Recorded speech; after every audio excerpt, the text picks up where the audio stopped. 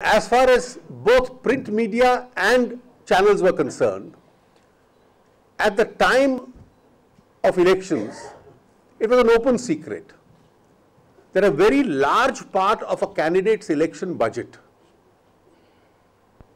was being spent on management of news. It's a hard reality.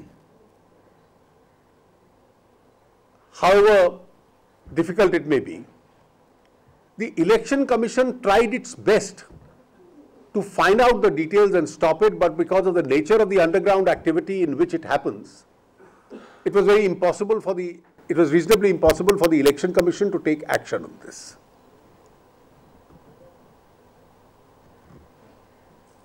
The Supreme Court judgment in the Tata Press case, which mentioned that uh, a commercial news is also news and therefore protected under Article 19.1a. Justice Sikri, I can see him smiling because uh, at one stage we were both uh, concerned with that judgment. I've always wondered how the paid news menace is going to be tackled in view of that where advertisement is also Article 19.1a would this aberration of paid news also be protected under that wide horizons that the court has laid down?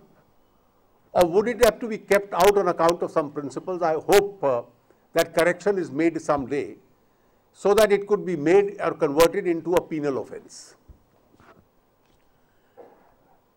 You've then had an impact of this impacting on the quality of news itself. And when I say this impacting on the quality of news, in that race for TRPs, pressure on the news collection budgets of news channels, recruitment of staff which is qualitatively not the best across the country, some of course hire very good staff. This directly impacts on the quality of reportage. And therefore, if there is a complicated uh, issue, you would find different versions of it appearing as news. For instance, I can safely assume that a serious analysis of the kind which we are making just now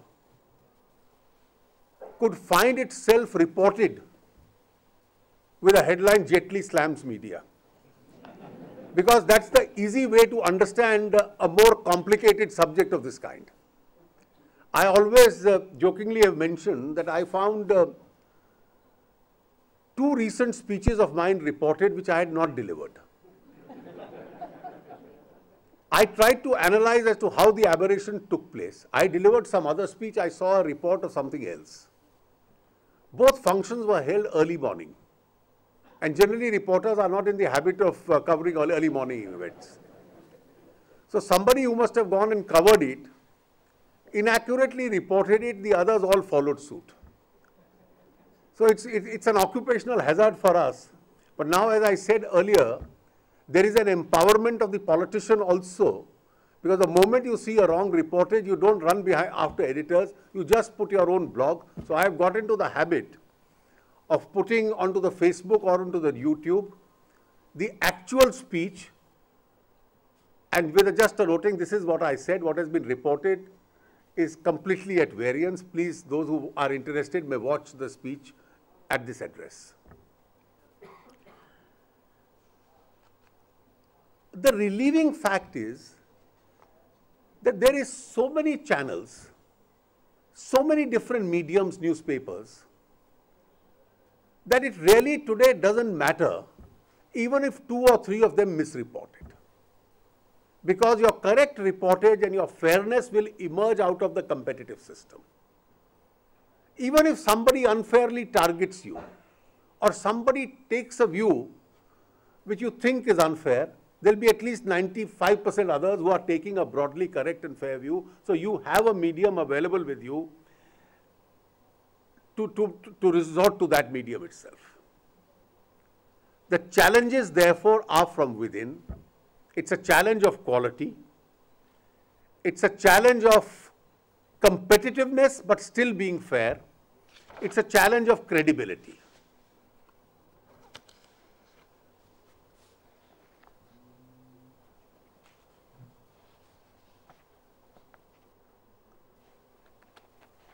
The digital medium, it is today still not certain as to what the financial model of the digital medium itself is going to be. It's too early.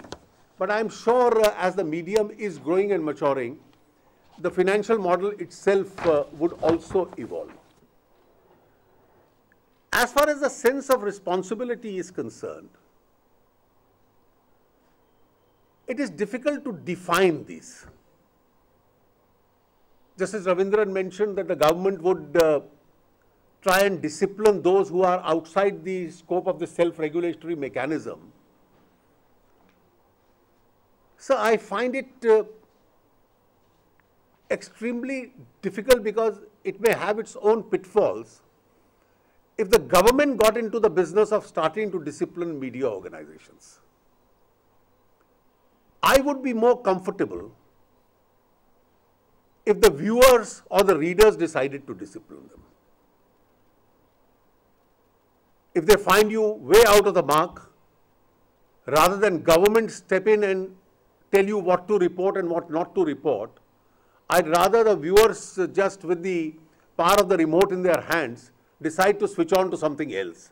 And therefore, when you find your own falling viewerships or readerships, that will be a much better way for people to deal with it. The media today has a responsibility to be credible, to be fair, to be an educator on sensitive issues, and itself to maintain the highest standards of financial integrity and ethics. I also am of the opinion the media will have to be extra careful where its own interests are involved. And therefore, wherever there is a possibility of a conflict of interest, an adequate disclosure to that effect has to be made. In terms of responsibility, there are at least three such specific illustrations where media will now have to seriously introspect. The first is how do you report instances when an insurgent action is on? when a security operation is in full play. The desire of the media to be an actor in these events and to go into the midst of the scene and therefore report from the spot as to what is happening? Or should the media have some constraints? You have the reporting of 9 11 versus the reporting of 26 11 as an exception. You had intelligence information to say that because Indian television channels had decided to make the 26-11 reporting almost in real time as to what action was being taken, the terrorists inside the hotels were being informed on their satellite phones by their handlers as to what the Indian security forces were doing from outside. And therefore, in the larger interest of a 19.2 exception, the security of state, can this be permitted to go on? Our security agencies and the Ministry of Defense is clearly of the view that this cannot be allowed. And therefore, during the limited duration where a security operation is on, a very strict discipline on the kind of reporting which is to take place from the place of the incident will have to be imposed. This issue is under serious and very advanced considerations as far as the government is concerned. The second issues relate to privacy of individuals. The privacy of individuals, even in high profile cases, is also a part of their right. And therefore, the media will have to evolve an ethics as to what was the relationship between a husband and a wife, what was the kind of conversation they were having, Now, these areas which have absolutely no bearing on larger public interests can only add some spice to the content of the reporting. The media will have to seriously introspect as to what extent this has to be reported. The third illustration which Justice Raveendran just mentioned, has the sub judice rule been completely given a go by to? I can quite understand in larger matters of public interest, merely because an issue is pending in a court, you cannot have a complete gag on the media. There will be issues relating to assuming there is a constitutional confrontation between the center and the state or between a state and a state. The issue will find a mention in the media. But if it is issues relating to individual culpability, where innocence or guilt has to be judged, the parallel trial concept, therefore prejudicing the entire environment around which a person is to get justice, is seriously under challenge as far as India is concerned. I am constrained to observe that as far as certain trial courts are concerned, this may not hold true of the judicial institution all through, are under tremendous pressure, particularly in high profile cases where media has conducted a parallel trial and almost declared somebody guilty or innocent. The other illustration is where there is social tension in society. It could be a caste problem, it could be a communal problem, as to the nature of reporting. Print media conventionally followed a principle as to the manner in which the reporting is to be done. But if when trouble is on, media is capable of creating a frenzy.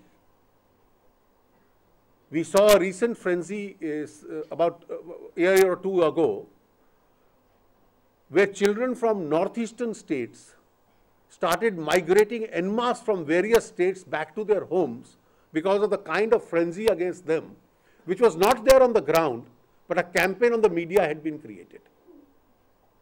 How this can impact on fairness of trials, my earlier point, the most illustrative case is uh, O.J. Simpson's case. Trial by jury, it showed the failure of the jury system where the media reporting the testimony of every witness, then analyzing the quality of testimony of every witness, being a national debate on American television, the entire jury in the Simpson case was then split on racial lines. People belonging to one color decided in, took a one view and people belonging to another color took another view. So this is a kind of frenzy that media has the capacity to create. Therefore, in social uh, uh tensions, uh, uh in, in, in, in, trials, uh, what is the extent uh, of frenzy that a media can create and therefore the extent of restraint that is to be required in the quality of reporting. Just as privacy was the right to be left alone, the digital media unlike newspapers and television, which has a momentary impact or a one day impact or a one hour impact, the digital media has a, has a permanent record. And therefore, if something inaccurate, something which is defamatory, something which is scandalous, relating to an individual appears on the digital media, and digital media has shown a tendency that its standards of uh, responsibility are still lacking compared to the other sections of the media, it can lead to permanent libel against individuals and make them symbols of controversy.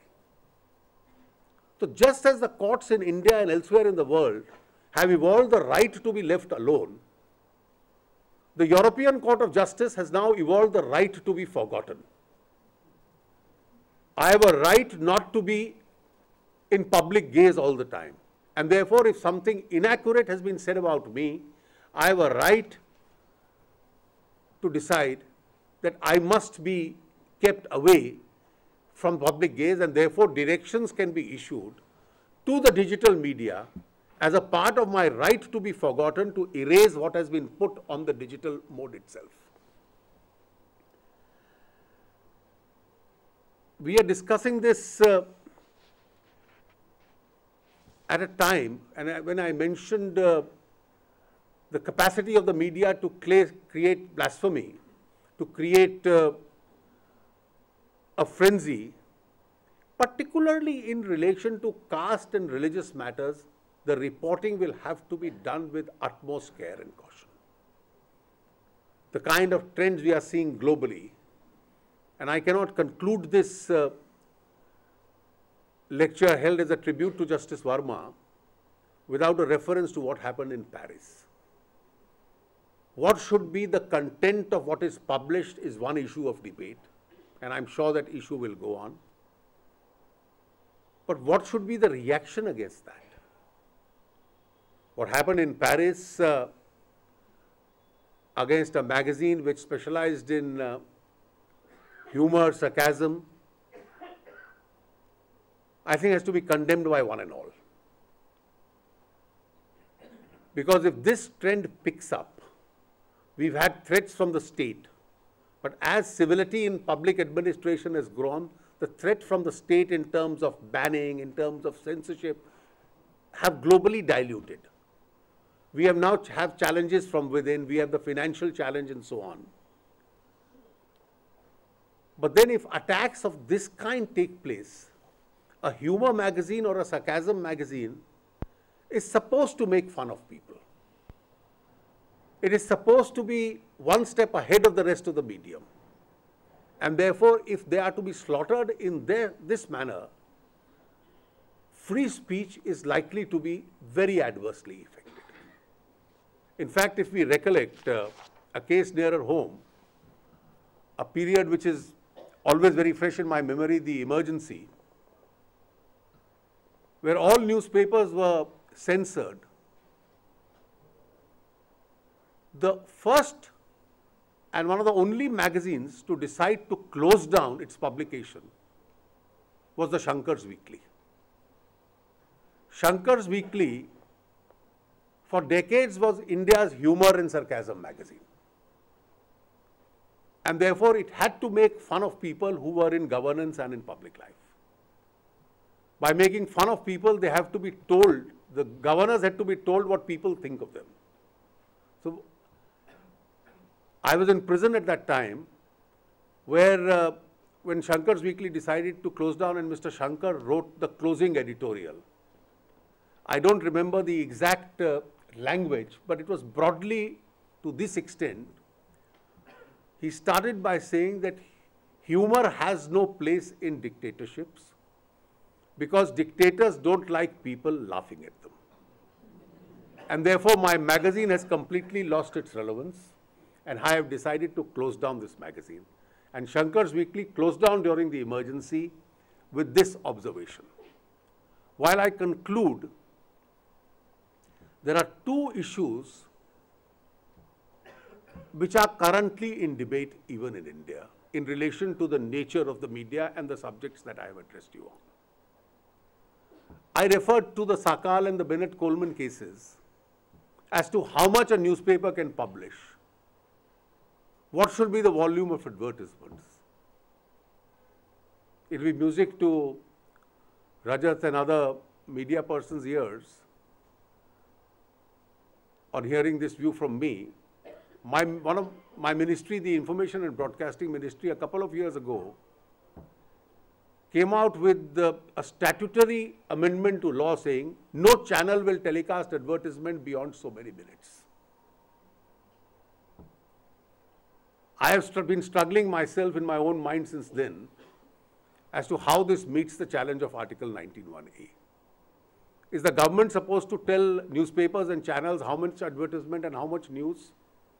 Or if the viewers or the readers find it's monotonous, they have the power to switch on to something else. Because government getting into the business of how much news and how much advertisement, in my personal view, is a bad uh, precedent to lay down. And if we go by the traditional test, may be a suspect as far as Article 19.1a is concerned. The challenge is before court. Some of my officers are also here and they are already familiar with my views on this particular subject. The second view, which is an issue I am just placing for public uh, discussion and debate. Most jurisdictions world over ban cross holdings in the media. If you own newspapers, you can't own channels. If you own channels, then you can't own the medium through which a channel is telecast, that is the cable or the DTH. Some jurisdictions like the United States have very strict disciplines in this. But then they don't have Article 19.1a in the exact language. We have no such restriction. Should all these mediums, including the medium to communicate, can they vest in the same individual? How is larger public interest going to be impacted by this? I think a time has come for this debate in the media circles and in the judicial circles at some stage, and certainly thereafter, as far as Parliament is concerned, to be initiated so that Indian society can form a mature view on these kind of restrictions that other jurisdictions have. And I'm sure with the kind of uh, uh, maturity Indian society shows in dealing with the free speech and the rights, this debate will also evolve and lead to a conclusion. I once again pay my tribute to the memory of Justice Verma, whom we all admired, and I thank you very much for your kind audience.